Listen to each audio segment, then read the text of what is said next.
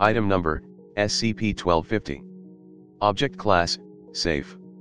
Special containment procedures, SCP-1250 is to be kept in a large double-lock safe, in a fireproof enclosure at site blank.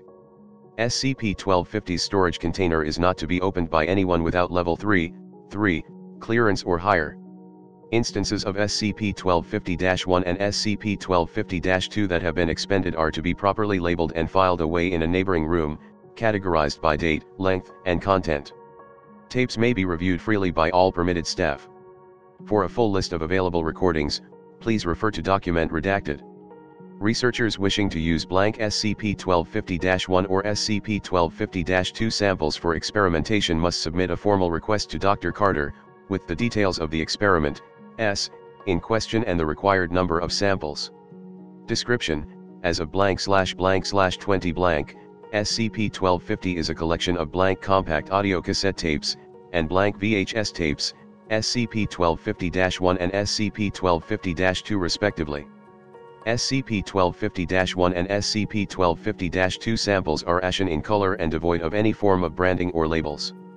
Internally, they are completely indistinguishable from other tapes of similar design, and can be used via any standard audio-slash-video recording equipment. However, SCP-1250-1 and SCP-1250-2 samples do not accurately record events. Upon playback of an SCP-1250-1 or SCP-1250-2 tape, there are notable differences between the content of captured audio-slash-video recordings and the real-world occurrences that participants remember observing. These alterations, while inconsistent, are initially never drastic. Situations presented in recordings are largely the same, but subtle changes, differences in pronunciation, word choice, furniture present in room, gender slash age of recorded individuals, are found when compared to standard recordings. In the case of SCP-1250-2, visual discrepancies will manifest in place of oral, as video samples produce no audio when reviewed. Multiple simultaneous recordings are noted to further alter proceedings, with greater numbers of SCP-1250-1 or SCP-1250-2 tapes present during a single session resulting in more dramatic variations. The only variable consistent across all samples are the exact date, time, and location, which are 100% identical in every recording of a given event. Testing has also shown that SCP-1250-1 and SCP-1250-2 samples do not appear to have any storage limit. Recording can continue indefinitely until manually stopped. Especially lengthy recordings have not been shown to exhibit a greater number of changes than shorter ones, even if a large variety of events are to occur, or the recording device were to travel a considerable distance during its duration.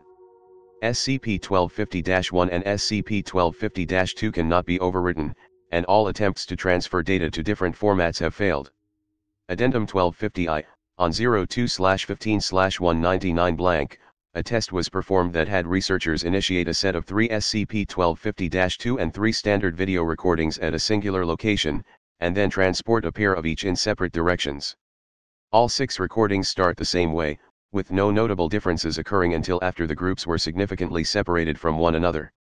As a result of this event, staff now believe that alterations will not manifest in the presence of other partial recordings, and that the recorded events of an SCP-1250-1 or SCP-1250-2 sample are not written in real time.